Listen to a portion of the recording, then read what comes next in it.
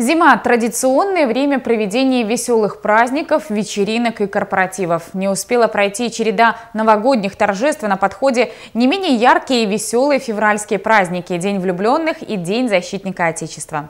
В преддверии этих мероприятий есть возможность получения дополнительного дохода. Налоговая служба напоминает, доход должен быть получен законным путем.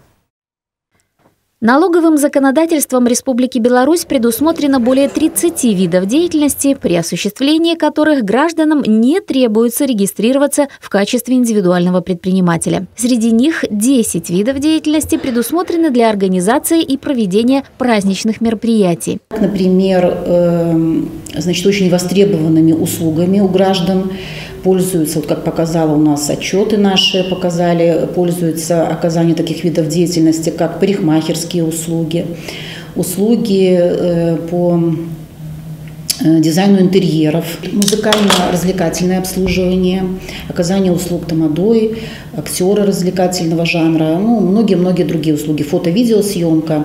Тот, кто намерен заниматься этими видами деятельности, должен сначала подать в налоговый орган уведомление о постановке на учет с указанием конкретных видов деятельности, которыми он предполагает заниматься, а также место и период работы.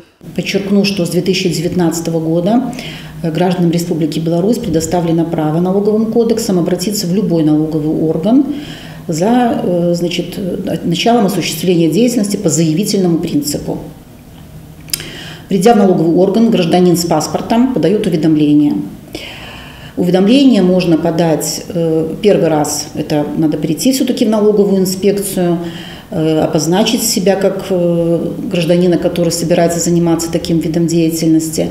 Как правило, налоговый орган предложит подключиться к нашему очень удобному электронному сервису «Личный кабинет физического лица», через который потом граждане могут подавать э, уведомления и оплачивать ставочку единого налога.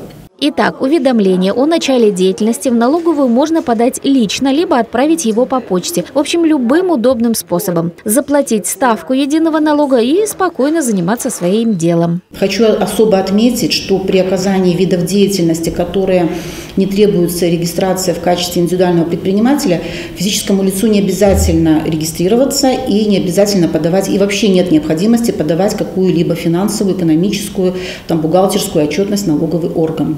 Некоторым категориям граждан, пенсионерам, инвалидам, многодетным родителям предусмотрены льготы в размере 20%, а по нескольким основаниям ставка единого налога снижается на 45%.